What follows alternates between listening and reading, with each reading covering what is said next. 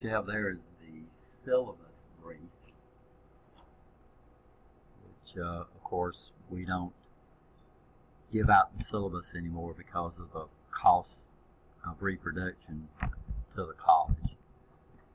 So that is not the official uh, syllabus brief. What it does is just tell you what you need for the class, the supplies you need for the class, and uh, also the time that it meets and how to contact uh, contact me actual official uh, course syllabus is on the Blackboard.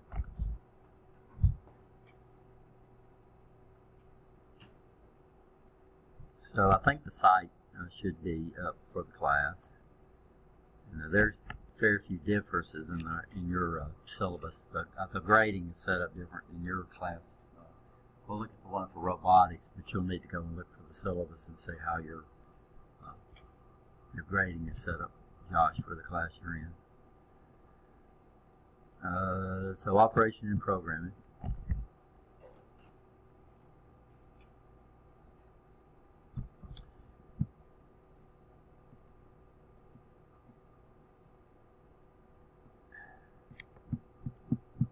And then of course, so here's the Blackboard side uh, home announcements. Uh, this is where I'll post announcements. But what I'll do is I'll, every time I post an announcement, I'll also send it out uh, on email. So it's very important that you check your email at least once a day uh, for this class, right? Okay. I know checking email is not fun, but a lot of people forget about it. Uh, course calendar, uh, this is the course calendar for the class. Uh, and this this evolves during the semester. But what I do is I've gone out here and put in the uh, uh, when the assignments are due. I think we have five assignments already up there, and when they're due. Uh, also, the test schedule should be already up here. So uh, we're going to have our first test on uh, right here. Is that September 6th, right? So that's when we'll have our first test in this class. The, uh, the projects class only has two tests. It has a midterm and a final. The rest of it is lab. so that's predominantly lab uh, so uh, assignments, drop add, by the way, uh, has been extended until Thursday, from what I understand. So if you need to drop any classes or add any classes, and I thought it was kind of strange uh, that they put drop add before a Tuesday Thursday class even met. you know, so you got some people that won't show up for class because they're on Tuesday and they show up for Tuesday and find out their classes have been canceled. So, uh, so they did extend it till Thursday uh, if you uh, need to do that. Uh, so they, they sh should have done that anyway. So this is the schedule. Uh, uh, of course, this won't affect us, but there is a holiday on the 5th I think it's Memorial, not Memorial Day, uh, Labor Day. But it will affect your Monday, Wednesday classes. Uh, when I post stuff on the calendar, though, I don't really. Sometimes I might have posted an announcement, but this is where I put the due dates and all this other kind of stuff as the class evolves. So you can always come up to Blackboard, check that calendar, and say, "Is there anything I need to do, you know, this week or whatever?" And of course, uh, the syllabus agreement uh, which is required by the course, is due by the next class meeting. So you need to get that done. And then assignment one needs to be completed uh, by midnight Friday. And it'll tell you that. So if you go up there and look at it, it says the assignment is due by midnight. It's real hard on this to actually set times. So what I do is I just make it, I just click all day, and then I put in the, in the little bottom there when it's actually due and stuff like that. So y'all need to check that. Yeah, this right here is real, real weird and it takes time. Okay, so there's course calendar. Uh, this is where your assignments are at. So uh, right now we have, uh, and there, assignment three is a robot safety video, and so this is all your assignments. Uh, this is your last assignment. Uh, this won't be available. In fact, what I'm going to do is I'm just going to make that not visible to you because that will that will not open up until uh, around test three. Is when well, they'll they'll send you an email uh, indicating that you need to do the survey uh, for the course. Uh, first week in course info, this is a very important link. This is where the actual course syllabus is at. Uh, this is where your first quizzes and agreements are at. Uh, so we'll go in and this is where we'll look at the actual official course syllabus. And we're not going to go over the syllabus, the complete syllabus, because you're required to read it.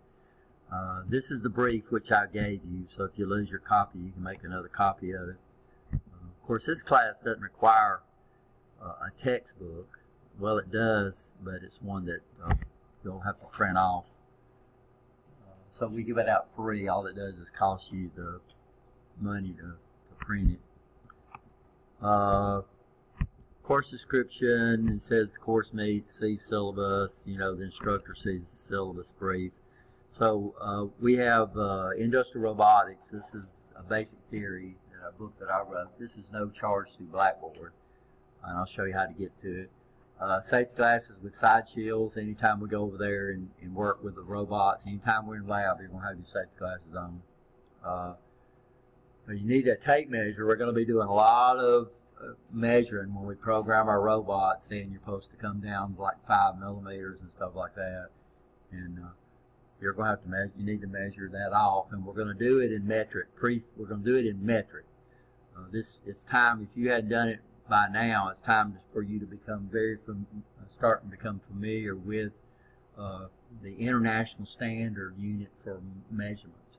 Uh, we're about the only current that, uh, country that's using what we call the English Imperial Standard, or they call it SAE standard for measurement.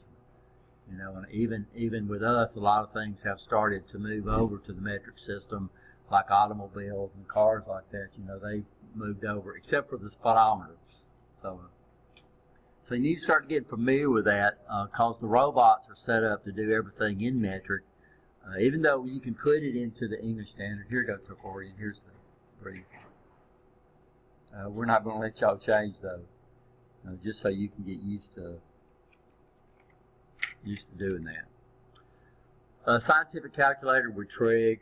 Uh, we don't allow you to use your cell phone. Even if you got a, a, a, scientific calculator on your cell phone, we don't let you use that because you can access the internet on your cell phone.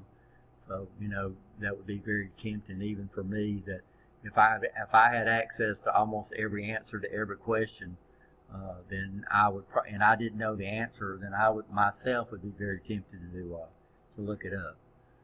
Uh, and uh, probably a TI 30X. This guy here is a very uh, inexpensive calculator, and it'll do everything you need to do uh, in this program that we're in standard class supplies, and you need to have a desktop tablet or notebook computer uh, to take just about any class at Lawson because of how heavily we depend on, Blackboard to convey convey information. There is a new there is a uh, free application that uh, that I'm going to look at where uh, we can uh, where I can send out text messages to everybody in the class. But I'll let you know if we try to implement that, uh, which seems like a pretty neat thing because that they say that you know people there's over a 90% chance that people will see a text message when they don't do, when they won't do what? They won't do their email. Hey Earl. What do you need? Well have a seat. You not anything this morning? Okay I'll, I'll do your course uh, they, they they extended the uh, drop add until Thursday so we'll be able to put you in it.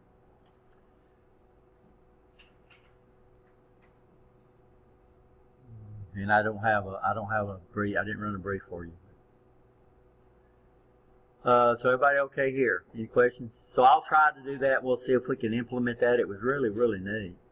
Uh, so what you can do is you uh, we can sign we can set up a class and you you go in and register. You don't I don't have access to your phone number. You don't have access to mine and then I can send out text messages to the class, which is pretty neat. Or you can send out text text back to me uh, through the internet site, not through my actual phone number, which is a pretty neat feature. And uh, I'll see if I can figure out how to do it, which was. Uh,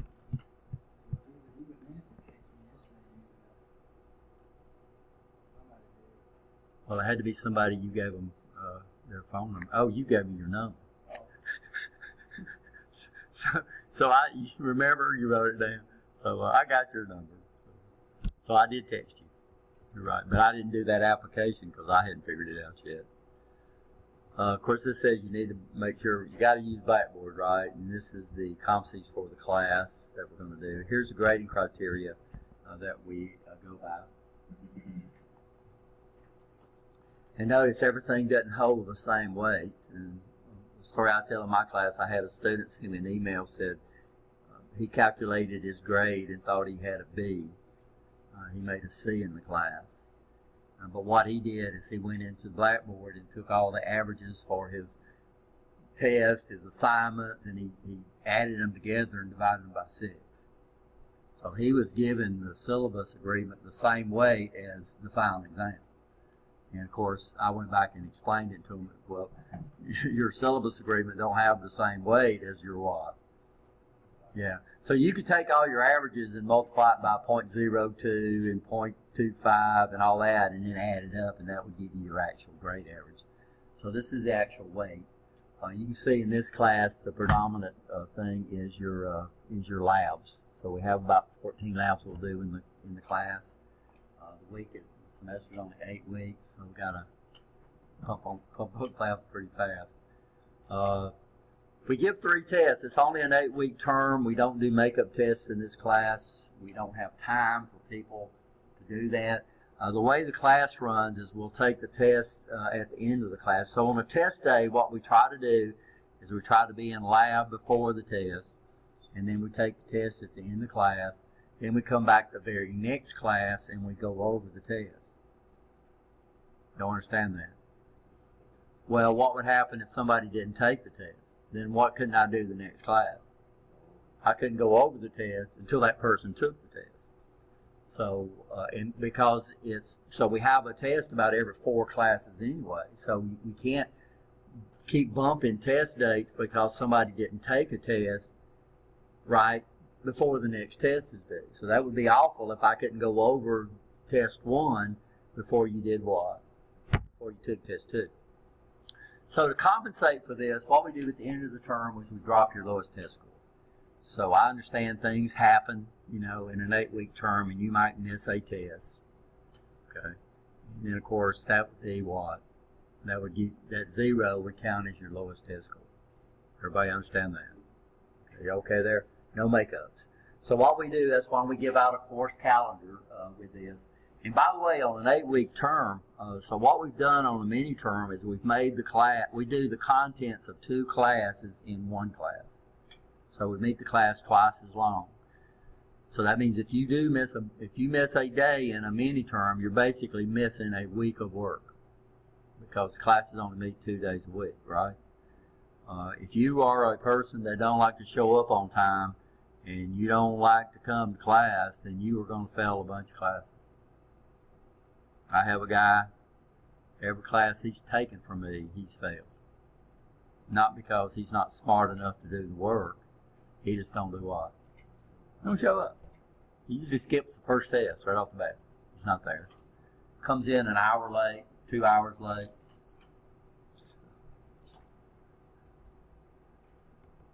And that's the only reason. That's the only reason. Unfortunately, it's not the first one that I've had done that. Everybody okay on tests? Uh, first week, uh, quizzes and agreements. Uh, you, uh, by the next class, what's due? Phillips agreement, right? Uh, assignment one's due by midnight Friday. Assignment two is due by midnight, and you need to make sure you check your calendar and uh, check on those assignments.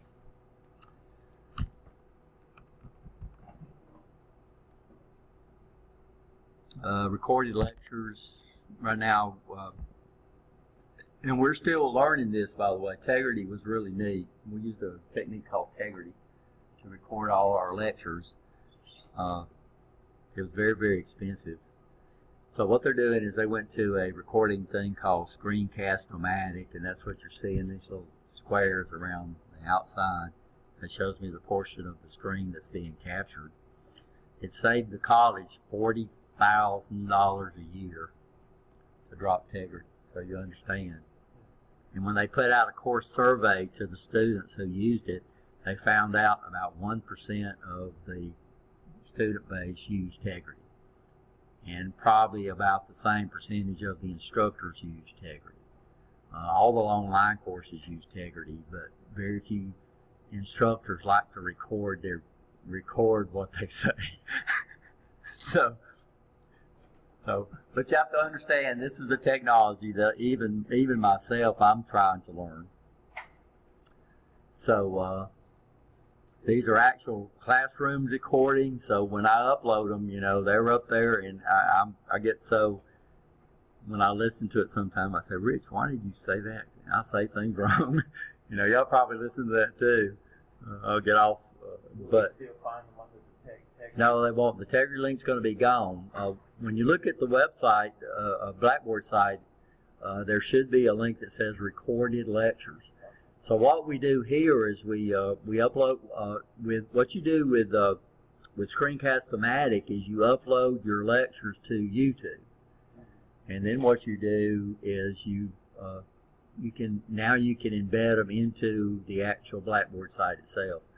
Uh, this guy right here I don't like uh, because uh, on Tegrity, if you if you if you turned your computer off while the while a lecture was uploading, when you turned it back on, it would start off. It would come up and start uploading exactly where you was at.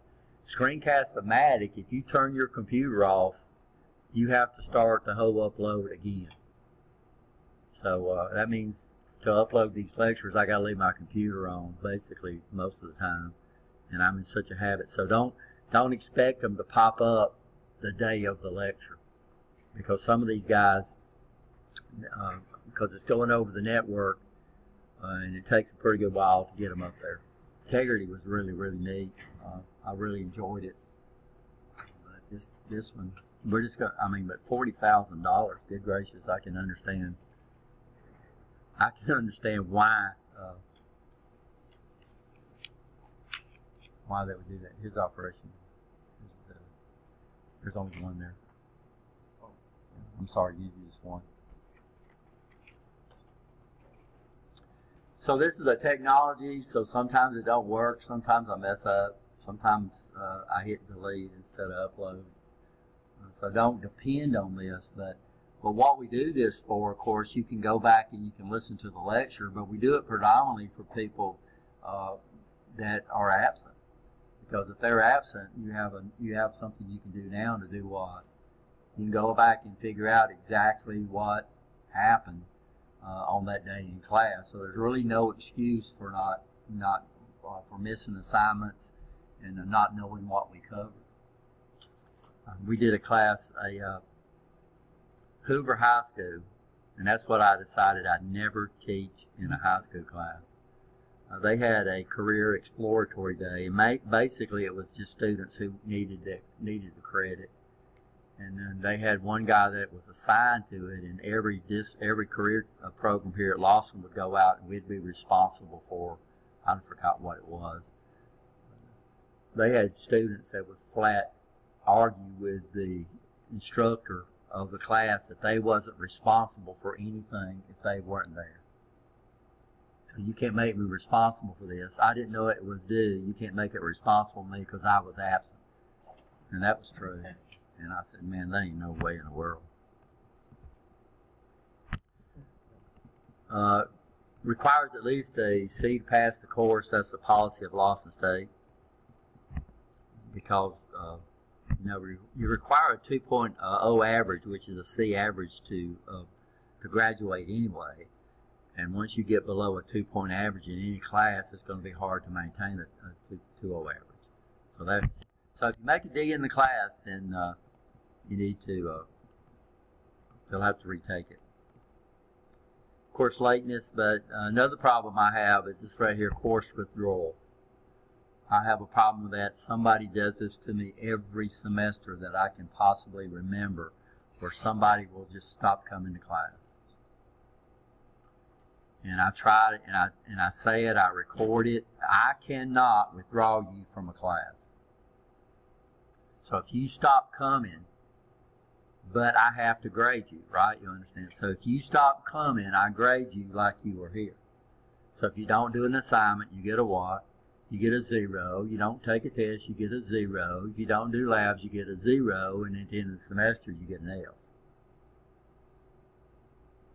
So if something happens and you need to withdraw from the class, then you have to do go through the withdrawal procedure that's on the website. It's very easy to do. Used to in the old days, to drop a class, you had to do a drop at, you had to do a drop form, and you had to take it around to every instructor that was teaching you and get them to sign off indicating that you dropped. So we had a lot of people that wouldn't do that because just finding the instructors. You know, uh, they move around, and instructors sometimes, especially us, we don't always teach in the same classroom. Uh, so now it's it's online. So you withdraw from a class online. Now, what they're going to do is they're going to ask you a few questions. Why do you withdraw and stuff like that, so they can document that, which is a lot better than the, the sheet. But if you withdraw from a class before the last way, uh, last day to withdraw, then uh, you get a W in the class. Now, W in the class does not account against your grade point average. So that's just like you didn't take the course. But you'll have to repeat it. You still have to repeat it, right? You understand? Now, if you, and people don't understand that, if you fail a class, it is part of your grade point average. So if you fail English, and then you come back and you take it and you make an A, then that F is going to be averaged with that A and it'll end up to be a C. So some people in, in, in college think if they retake a course, then the old, the new grade, now you get credit for passing the course, but every course you take in your in your discipline counts toward your grade, your GPA average. And once you get a zero and an average, it's real hard to get off. So there we go. That's a perfect example, right? You understand you make an F, you get no quality points. You make an A, what did that class count for? It counted for a C in your GPA average. So that's one of the reasons right off the bat they don't, they, they, a D is considered to be failed. So if you think you're going to fail a class, then what do you probably need to do? You're going to have to retake it anyway. What do you need to do? You need to withdraw from it, right? Y'all understand that? Now, the college calendar has a published last day to withdraw. If you don't withdraw before that day, if you withdraw before that date, you get a W. If you withdraw from after that date, you get a grade. You understand that? So that's why it's very important, and it's around test three. So if it looks like you don't think you got a chance of passing the course, instead of getting that F on your transcript, which is really, really hard to get off, what do you need to do? Withdraw. If you stop coming, I cannot withdraw you from the class. They call it the right to fail. So you have a right to fail the class. And believe it or not, probably probably well over 90% of the F's that people make in my class are because they don't do what? Yeah, I very seldom have. Uh, uh, so, uh, very seldom does people fail these classes because there's so many ways you can make points. So if you're not good in test and you and you're really good in lab, then you can pass class. If you're good in taking tests but not really great in lab, you can still pass the class. If you're not good in lab and not good taking tests, then you don't need to pass the class, right? Uh, then the rest of it, academic integrity, talks about, you know, not taking credits for other work. Code of conduct means you're you're not going to tear up Lawson State's equipment. Disability support uh, defines uh, that uh, I can't make special consideration because of a disability unless that disability is documented. So if you've got a, uh, some disability where it's going to impede you from uh, excelling or passing the class, uh, then you need to go to talk to Mr. Renee Herndon, and then we'll we'll develop some type of plan. So even with your disability, you can still excel in the program. and we've had that happen. I mean, um,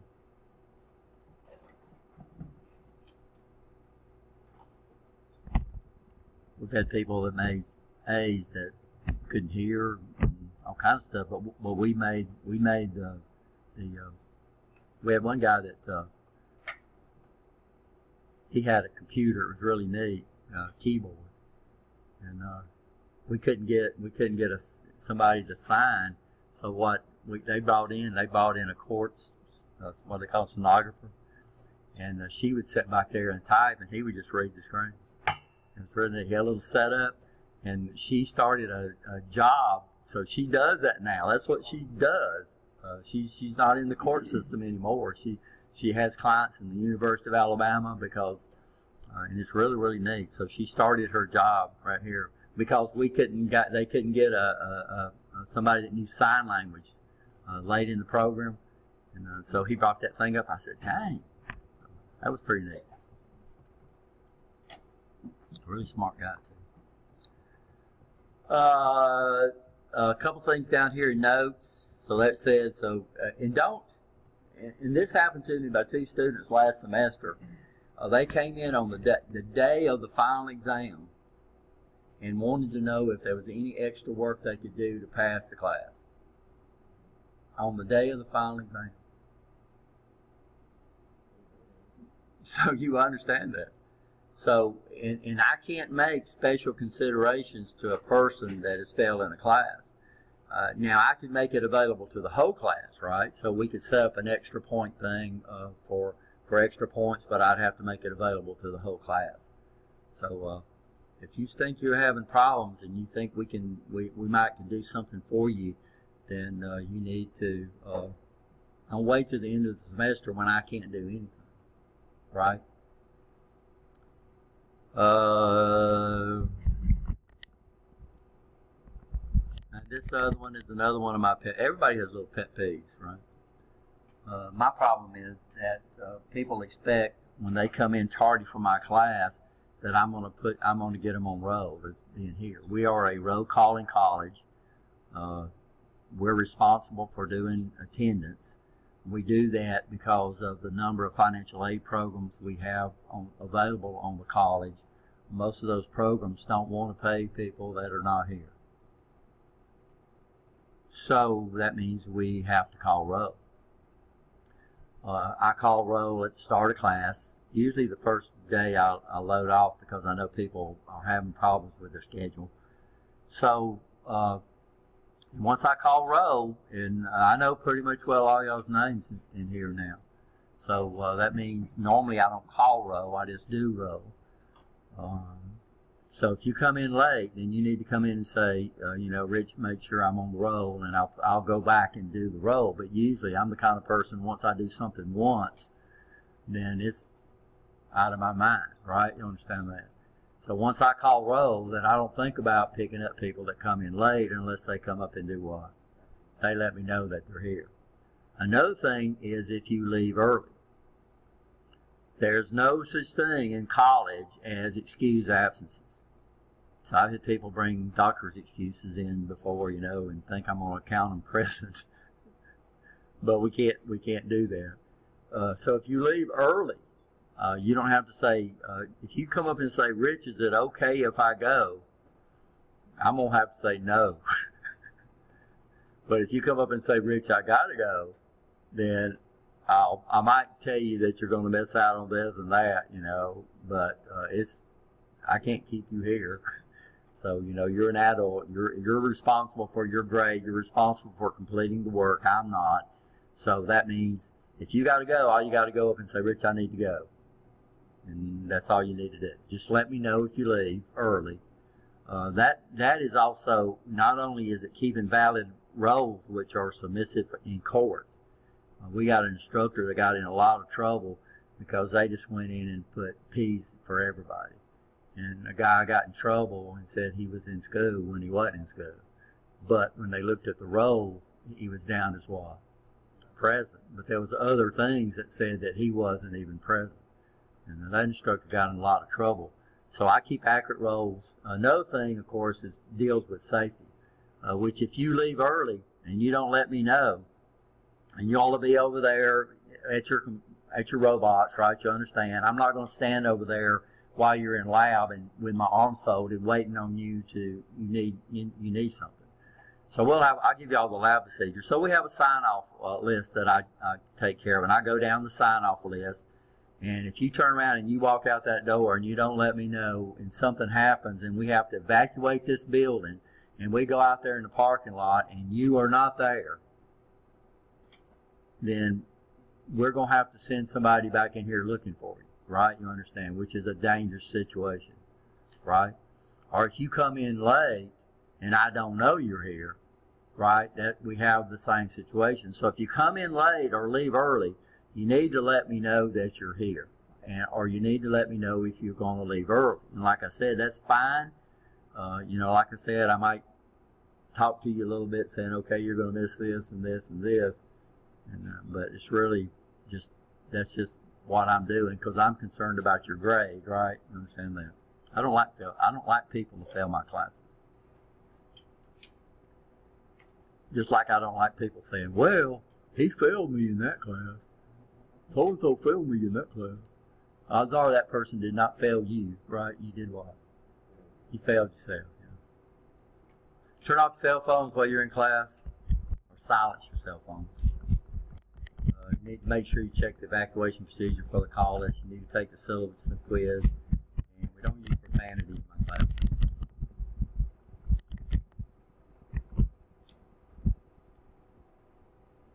So that's basically just a brief go over of the syllabus.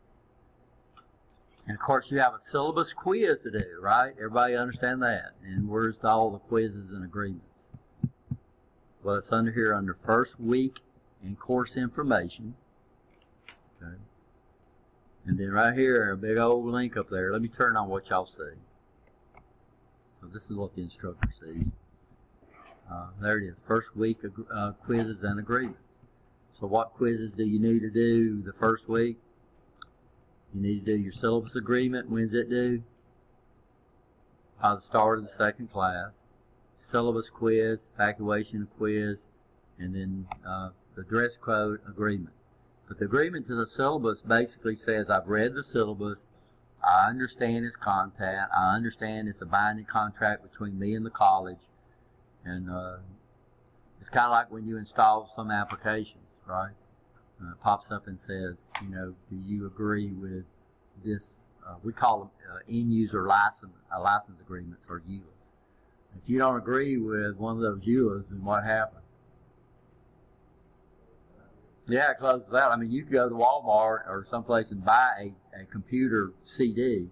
People think that they're buying that program. They're not buying that program. They're basically leasing that program, right? You understand? It's a permanent lease on the program. So if you don't sign a lease agreement, then they don't let you lease the house. So, uh, you need to be uh, be careful about that. So syllabus agreement, and then of course the dress code agree, uh, adherence saying that you're going to uh, you're going to uh, adhere to the dress code.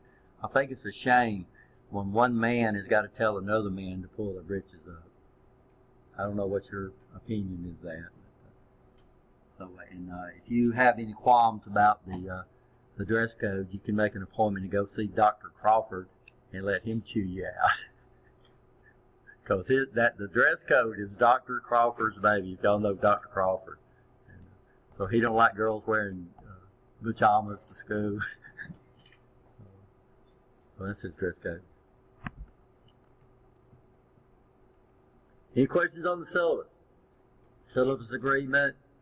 Uh, here's the actual course content. This is where you can access all the lecture slides at. Um, any topic quizzes or anything that uh, we have to do. Find it going.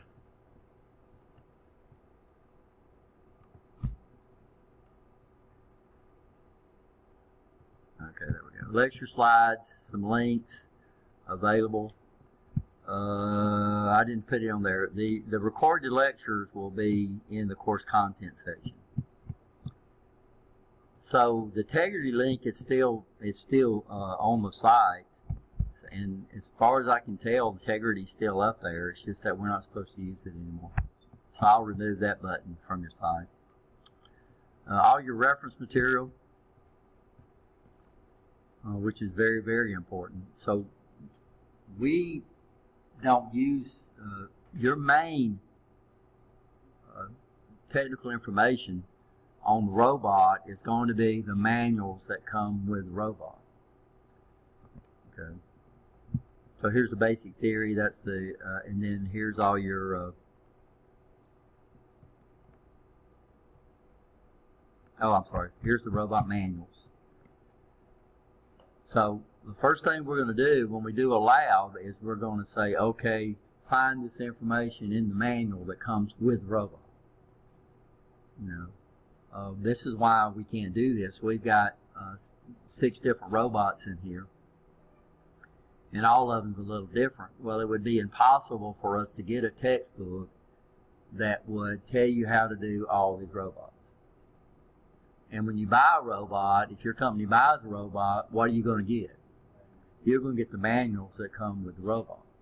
So what we do in this class is that we, we have you look up everything and you write down page numbers and then there, we leave a space on the lab where you can uh, you can put the little procedure down and then when you go over to the lab you follow your little procedures on how to create programs, how to name programs, how to delete and all that other other kind of stuff. Y'all can ask Josh and Earl, they both had the operation and programming class. So. We're going to be assigned uh, in a group of the uh, in one of these robots right here, one of these four robots, and then uh, every robot. It's kind of like PLCs, when we, uh, programmable logic controllers. The first PLCs we got were Square D's, and uh, they're not. That's that's how. And then uh, then we went to. we got some Series ones. GE Series 1s. And then we got some Modicons. And then we finally went to um, the Allen Bradleys. Now, how many schools did we get to go to on those PLCs? I mean, none. Not a single school on PLC. But what we found out real fast is that once you figure one of them out, they all basically do the same. So what you say, okay, is, is okay, I know what these guys are supposed to do. How do I do it on this robot? How do I do that same thing on this PLC? So we didn't have any PLC courses. Uh, how many robotic classes have I been to?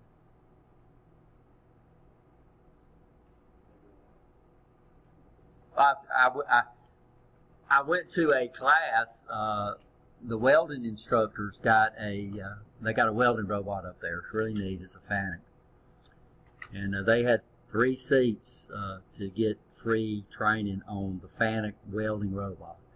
Uh, I'd already been teaching robots for quite a while, so uh, they wanted me to go up there with them. So if they got in trouble, then I could make sure that that uh, we could handle. So that was after I learned how to teach the course. So you're right, I've been to one, but it was kind of like when I first started teaching, we had to get continuing education units, which means we had to take classes. So what I did was took classes on stuff I already knew how to do that I'd learned on my own. So I took a class for Microsoft Office, and I'd been dealing with Word and PowerPoint for years, and flow charting. I forgot what the other one was, but uh, that was pretty much well what that was. So yeah, I've been to one. But I'd been programming. I, I had been writing programs and programming in for a long time, so I understood programming. Right? You understand? So it was nothing for me just to figure out what instructions you needed to, to cause the robot to move. Uh, so that was. So once you learn one, so when you're going to be assigned to one of these robots, when we first started teaching the course, we tried to make the class do everything on every, they shifted robots and we found out we got nothing done. Because you'd have to shift from this one to that one and from that one to that one and from that one to that one and uh, we couldn't do there was no way in the world we could do 14 labs. We were lucky to get through with just just the students learning how to jog all the robots so what you'll do is you'll come in and you'll be assigned a robot and you'll deal with that robot you'll learn that robot real well. And then if you go out to a company and you get on, so you play around with the FANUC and you go out and get on an ABB, you're going to say, okay, how does this robot do what the Fanuc does? Because they all do the same thing. You just got to figure out how to how to get how to run the teach pendant, how to get to the different uh, levels, and all this other kind of stuff. And then once you learn it, you say, okay, that's how they do it. Uh, now the projects class is a little different. We're going to shift y'all around a little bit, especially to start off with before this class starts using uh, using the robots. So y'all get an opportunity to try to jog all the robots and figure out how to do that. And then, then we'll move y'all to a, a robot that y'all deal with the rest of the term. Any questions so far? So here's our manuals. Uh, email, email, uh, there's an email, you can email me. And if you email anything about this class, what I want you to do is use this email instructor link on the Blackboard site. And why that? Because what happens is it, it automatically puts a little subject header in there that I can sort into folders for the class. So it's just a lot easier for me to uh, go through my email if all the email from this class goes in the folder for this class and all the email for another class, uh, you can email one of your students. Uh, so uh, instead of know, instead of trying to learn their email address, you can come here. Uh, this is where you can go and see your grades. Uh, this is where the tests and everything will be at too. So the the uh, test we'll do is going to be all The test we're going to do is going to be uh, done through Blackboard.